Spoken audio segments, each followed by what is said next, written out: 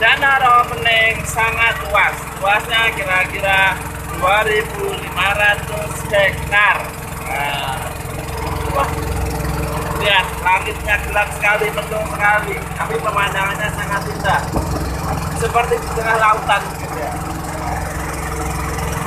Yang jadi masalah di sini adalah terlalu banyak enceng gondok. Kalau kita lihat itu enceng gondoknya sangat tebal sekali.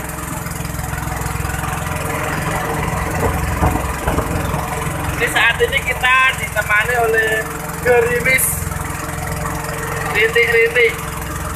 Kalau cuaca cerah kita bisa melihat kota Salatiga di sana, tapi ini karena mendung kota Salatiga tidak kelihatan.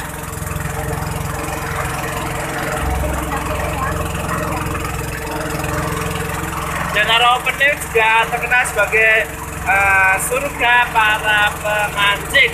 Nah, lihat perahu-perahu lain juga banyak bawa penumpang wisata.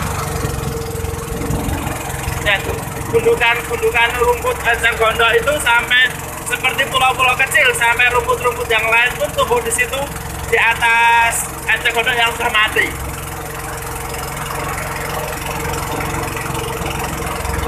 Kalau kita naik perahu ini setengah jam uh, cukup pas karena jarak yang ditempuh cukup jauh.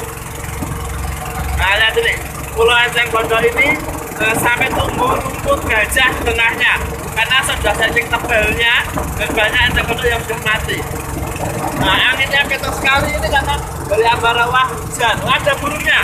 Nah, ada burungnya.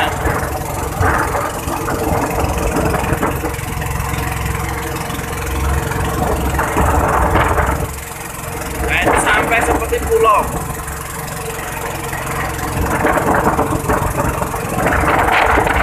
Ya.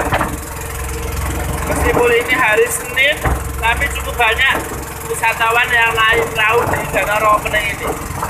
Dan kalau kita lihat di tengah-tengah itu ada yang rumah-rumah kecil itu, itu adalah uh, karamba-karamba tempat para nelayan uh, membudidayakan ikan-ikan di sini. Ini gondoknya sudah sangat tebal sekali, sampai seperti pulau mungkin bisa diinjak itu. Sebenarnya para warga pemerintah dibantu perusahaan juga sudah berusaha membersihkan enceng gondok dengan menggunakan mesin khusus. Tapi pertumbuhan enceng gondoknya memang sangat luar biasa. PT Sidomutro membuat uh, briket dari enceng gondok yang diambil dari Danau Rawapening ini.